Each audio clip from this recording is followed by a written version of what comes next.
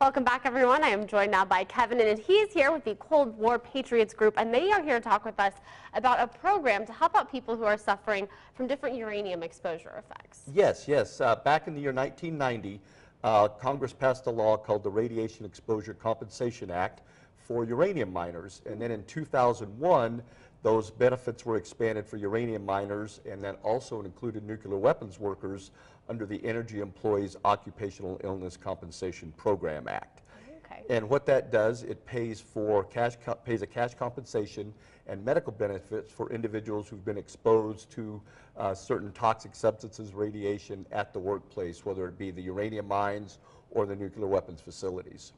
Wow. And so people obviously who have worked in these environments probably are having some sort of medical repercussions, and now this Yes. program is developed to really help them and support them through that. Yes, yes, it has. What it does is if they apply for the benefit and they've been diagnosed with an illness or uh, uh, some, some type of a thing, then what they could do is they could apply for the benefit. The benefit will pay them a cash compensation of up to $400,000 Wow. and then lifetime medical benefits for their covered condition, and that also includes home care benefits.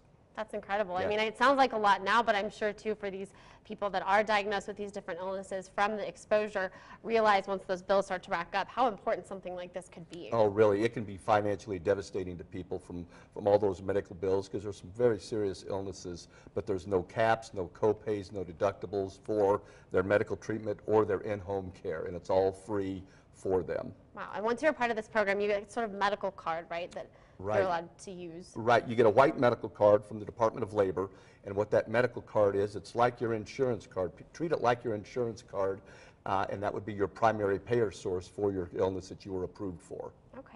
And you guys have a town hall that's coming up to kind of inform people about this information, especially if they're here on the Western Slope and have questions about it since you are located in Denver. Right, right. Cold War Patriots is a nonprofit organization that uh, helps support the uranium miners and the nuclear weapons workers, and we're having a town hall meeting on June 2nd at the Ramada Inn on Horizon at 10 a.m. and 2 p.m. to help people understand these benefits, help them uh, navigate through the complexities of the program, and really give them a lot of good beneficial information to either get their benefit or expand on the benefits that they have. Perfect. And if people, for whatever reason, can't possibly make it out to this town hall meeting, um, how should they contact you guys? Yes, we have a help center in Denver, Cold War Patriots Help Center, and they can call them for, uh, we've got a number of people there that can help them answer their questions about the program. Perfect. And again, that town hall meeting is going to be on June 2nd, June 2nd, right at the Ramada Inn on Horizon, uh, 10 a.m. and 2 p.m. and people can just show up. They don't need to RSVP. or Right, no RSVPs, just show up and we'll have some great information for them. Perfect. Thanks so much, Kevin. We Thank appreciate you. it. Uh-huh. All right, stick around. We'll be right back after the break.